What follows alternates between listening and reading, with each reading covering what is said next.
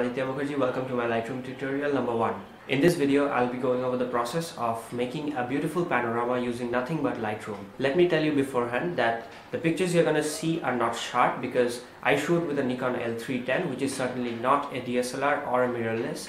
It's a point and shoot and it's ancient. It's a discontinued model. What I mean to say is that it does not produce uh, good quality images.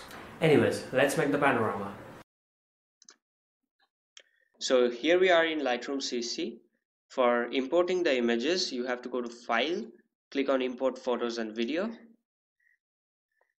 Then you have to navigate to the folder where you have saved the uh, images for making the panorama. Now inside the folder, you'll find all your photos. Click on this checkbox uh, of the photos you want to import. So I'm going to import these three. Now from this menu, go to Develop now open up this menu and keep pressing on control and click on all the three files. So this will select all of the files. I'm going to start editing with this photo. You can edit this as you like it to be but i'm going to show you my process of editing. First i'm going to go up with the contrast. I do like the exposure so i'm going to keep it at zero. I want more details out of that highlight. I think shadows are fine so i'll just keep it right there I'll shift the black points so that I can see a bit of black in there. By the way I'm doing this by pressing on alt and moving the black slider.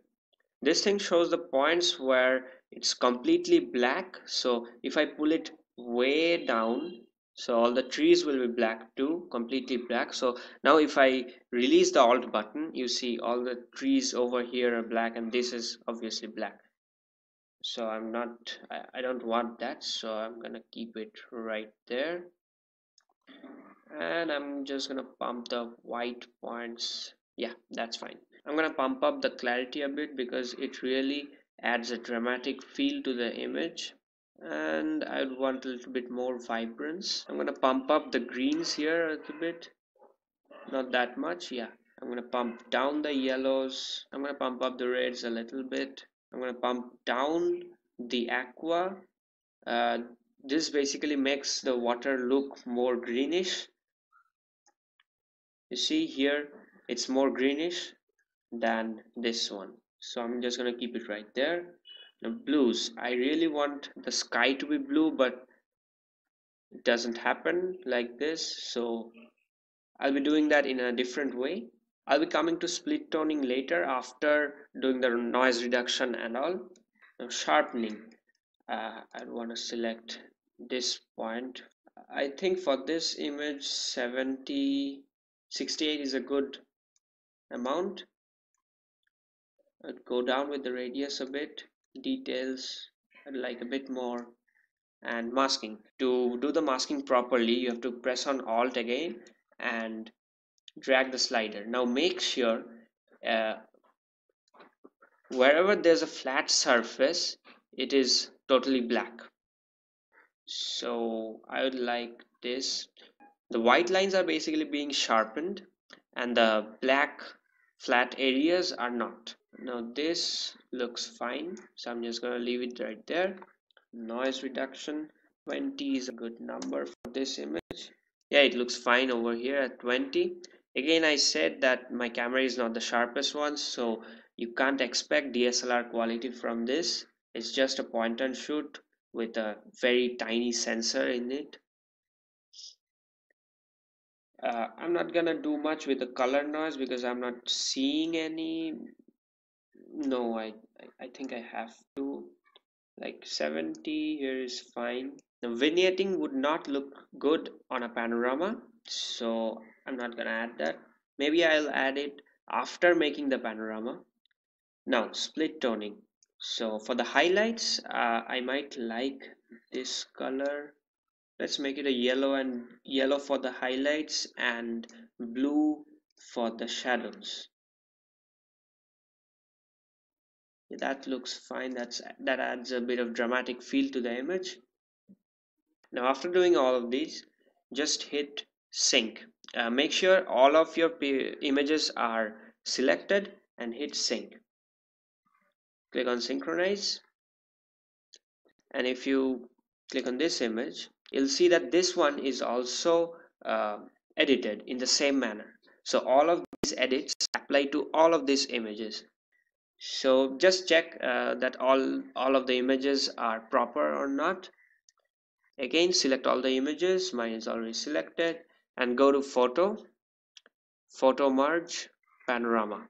And wait for it to create the panorama preview. You can choose any one of spherical cylindrical or perspective whichever looks fine. I'm gonna stick with perspective. And i'm gonna crop this part off. I'll do it after merging the panorama so click on merge. It'll take a bit of time for creating the panorama. Now we have our panorama right here. It's loading okay so here's the panorama. I know it's not a good looking panorama but yeah it's just made for the purpose of making the video. So let's crop it to our desires. You can see how much lightroom has cropped this thing. The actual image after merging was like this two trapeziums and one rectangle thing or whatever I'm gonna rotate this a bit because this horizon doesn't seem straight. Yeah this looks fine. Now I'm gonna click on this lock icon which allows us to freely crop the image. And I'm gonna crop this foreground part out just there. Yeah. And hit enter. I think uh, I'm also gonna make a horizontal uh, shifting. if that's the correct word. It's over here lens corrections horizontal. Yeah I'm gonna do that. This looks fine. And click on constraint crop. I said earlier that I want the sky to be blue so now I'm gonna do that. So select this graduated filter and apply a filter over the sky. Now Uh, come over here to color and select this blue one. It adds a little bit of blue not that much for bringing out the blue color. What you're gonna do is you can bring down the temperature of this thing. See how much blue it became? So I'm just gonna keep the temperature at minus 10 so that looks fine but here it's completely blown out. So I'm gonna add a radial filter and apply it to the blown out region to make that region blue. I'm going to increase the feathering so that it doesn't uh, become a sharp change from white to blue. Okay, now again, I'm going to make it blue colored and bring down the temperature a lot. So I can't do much anything in here because uh, this region is completely blown out. Uh, only this part has become blue, but uh, I'm pretty sure that there is a lot of noise over here. So we can have a look at it full screen. So it looks quite good. So I'm gonna say export it. For exporting in Lightroom you click on file export and over here export location. Choose the folder you want to export in. Over here uh, it would generally be at 80 so I'd recommend you pull it up to 100 and image format is JPEG. And if you want to rename this file to anything else you can do it from here custom custom name. So I'm just going to keep it like this and hit on export. So it says exporting one file. Okay now it has exported. So you can minimize this window and go to the folder where you have exported the file now here it is. Uh, let me check it's the same or not. Yeah it's the same.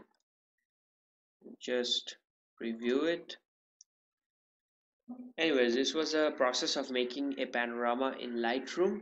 I think you have found this informative and you have enjoyed the video. So if you have found this video helpful give me a thumbs up and share this video if you like.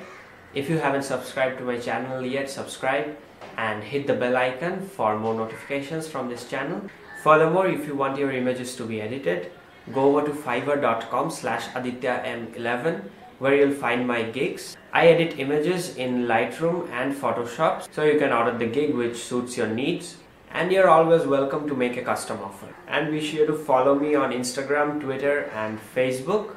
So that's it from this video. I'll see you in the next one.